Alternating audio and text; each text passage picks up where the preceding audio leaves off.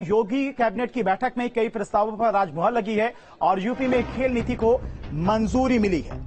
खेल विकास प्राधिकरण की स्थापना होगी। एनसीआरटी सिलेबस को लागू करने का प्रस्ताव मंजूर किया गया आज की कैबिनेट की बैठक में।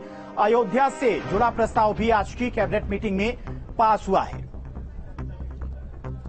तो आज योगी कैबिनेट की अहम बैठक हुई। बैठक में कई प्रस्तावों पर मुहर लगी है। यूपी में खेल नीति को मंजूरी मिली है। इसके अलावा खेल विकास प्राधिकरण की स्थापना भी की जाएगी। एनसीआरटी सिलेबस को लागू करने का प्रस्ताव भी मंजूर किया गया है। अयोध्या से जुड़ा प्रस्ताव भी आज की बैठक में पास किया गया है।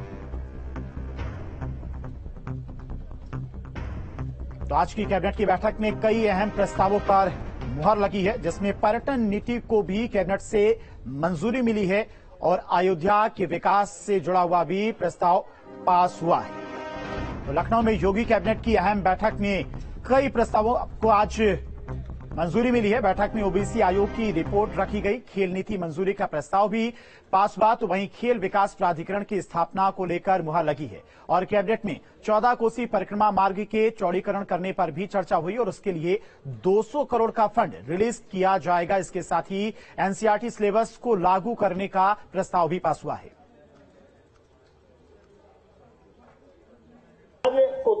बड़ा हर्ष का विषय है कि उत्तर प्रदेश की कैबिनेट ने उत्तर प्रदेश खेल नीति 2023 को आज स्वीकृति दी है।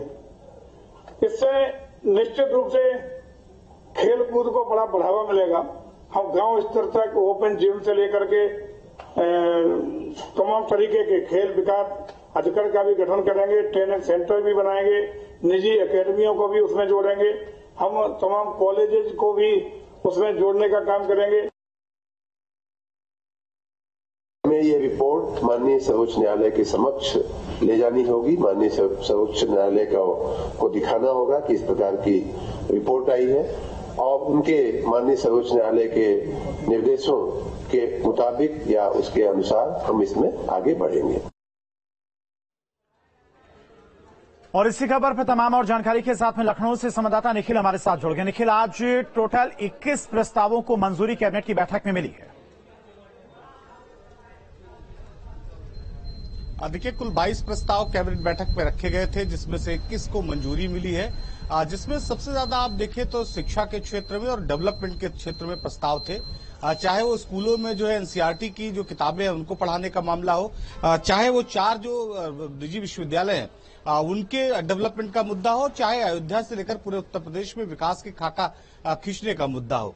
सभी पहलुओं पर बात हुई और कुल इक्कीस प्रस्तावों पर कैबिनेट को सहमति मिली। सबसे अहम मुद्दा जो पूरी कैबिनेट बैठक में था, वो इस बात का था कि उत्तर प्रदेश में निकाय चुनाव कब होंगे। चूँकि जो आयोग इसके लिए बनाया गया था, उस आयोग ने मुख्यमंत्री योगी आदित्यनाथ को कल अपनी रिपोर्ट सबमिट कर दी और आज इस पर चर्चा होनी थी।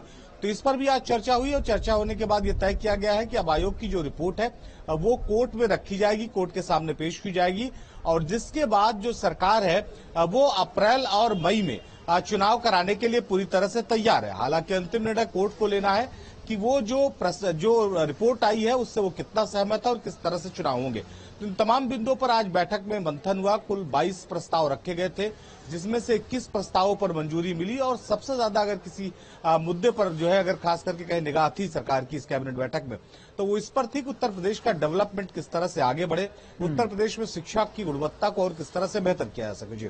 ठीक है निखिल बहुत बहुत शुक्रिया आपका तमाम सारी जानकारी के लिए। तो 22 प्रस्ताव कैबिनेट की बैठक में रखे गए थे जिनमें से 21 प्रस्तावों को मंजूरी मिली है। यूपी कैबिनेट की बैठक में नई स्क्रैप पॉलिसी पर भी चर्चा की गई। न्यूज़ स्टेट से खास बातचीत की उत्तर प्रदेश सरकार में परिवहन मंत्री दयाशंकर सिंह ने बताया कि 10 साल से पुराने डीजल वाहनों को स्क्रैप घोषित करने वाले लोगों को तमाम छूट मिलेंगी और पर्यावरण को भी राहत मिलेगी। आज योगी सरकार की कैबिनेट में नई स्क्रैप पॉलिसी पर चर्चा हुई। सर, कैसी पॉलिसी होगी और कैसे आम लोगों को इससे लाभ पहुंचेगा? देखिए, हमारे उत्तर प्रदेश में परिवहन विभाग में पंजीकृत पाँच लाख अट्ठाईस हज़ार गाड़ियाँ ऐसी हैं जो अभी ए, हमारे टैक्स को जमा नहीं कर पा रही। जिसमें एक लाख छाछठ हज़ार गाड़ियाँ ऐसी हैं जिन पर आरसी कट चुका है। तो ऐसे लोगों को लाभ मिलेगा और हमारे पोल्यूशन कंट्रोल करने में बहुत लाभ मिलेगा। 30 परसेंट पोल्यूशन केवल जो हमारी पुरानी गाड़ियाँ हैं, उसके धुएँ से होता है। उसको जो स्क्रैप होंगी, और सरकारी जो भी गाड़ियाँ हैं, जो पंद्रह साल से पुरानी, उसको सबको स्क्रैप किया जाएगा। थाने में पड़ी हुई जितनी गाड़ियाँ हैं कंडम, उनको भी स्क्रैप किया जाएगा। एक जो है, ये जब पुरानी गाड़ियाँ स्क्रैप होंगी और उसके नई गाड़ियाँ आएँगी। तो एक जो, एक हमारे रजिस्ट्रेशन में इतने दिनों से पड़ी हुई है जो कि पेनाल्टी पर पेनाल्टी उन पर लग रहा है। तो उनको एक बड़ा राहत मिलेगा और एक हमारी, एक नई व्यवस्था के साथ, जो माली, हमारी, जो पुरानी गाड़ियाँ, जो अभी चल भी नहीं रही हैं, लेकिन उन पर टैक्स बढ़ रहा है तो ऐसे आम आदमी को इसका बहुत लाभ मिला। परिवहन मंत्री परिवहन मंत्री का ये कहना है कि जो नई स्क्रैप पॉलिसी है उस पर मंथन हुआ है। उसके तहत जो पुराने कंडम वाहन है उनको स्क्रैप पॉलिसी के तहत लाया जाएगा जिससे एक तरफ़ पोल्यूशन से लोगों को राहत मिलेगी तो दूसरी तरफ़ जहाँ लोगों पर टैक्स का बोझ बढ़ रहा है वो भी कम होगा। लखनऊ से बड़े दीपक राणा के साथ शर्मा न्यूज़ स्टेट उत्तर प्रदेश। और इन्हीं खबरों के साथ रुकते हैं आप एक छोटे से